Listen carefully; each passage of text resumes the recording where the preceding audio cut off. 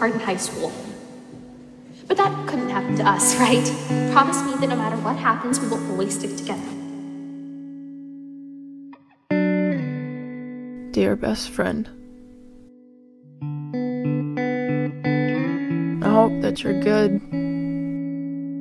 Genuinely good. Since you've been gone, it has not been easy. But I want to say thank you. Even though it broke me into a million pieces when you left, I want to say thank you. Even though I miss you every day, I want to say thank you. Thank you for inspiring me. Inspiring me to face my fears. You make me want to be better. Make me want to work on myself. And even though doing this without you by my side is one of the hardest things I've ever had to do, I'm doing it. And I wish you could see me. I wish you could be here to see me transform into this new person. But you're not here. I just hope you're proud of me. I'm not mad. I'm just in pain.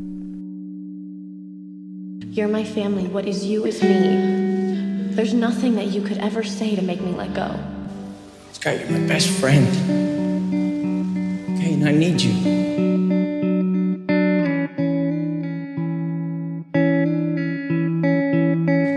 Sky, you're my brother.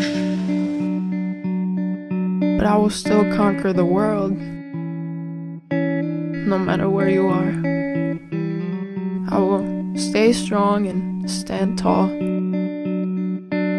Because I know you wouldn't want to see me fall. Whatever success I'm celebrating, I will always think of you first. Because you're my biggest inspiration. And I want you to be proud of me.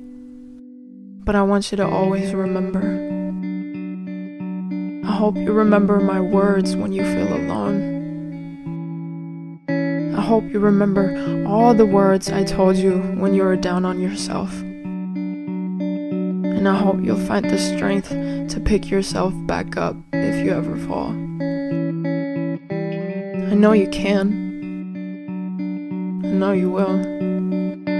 The person I saw inside of you can handle it all. You're strong. You're intelligent. You're wonderful. You can move mountains if you want to. You should believe in yourself. Because I believe in you. And no matter what happens, no matter what you do, no matter where you are in the world, and no matter where I am, I will always love you. And that will never change.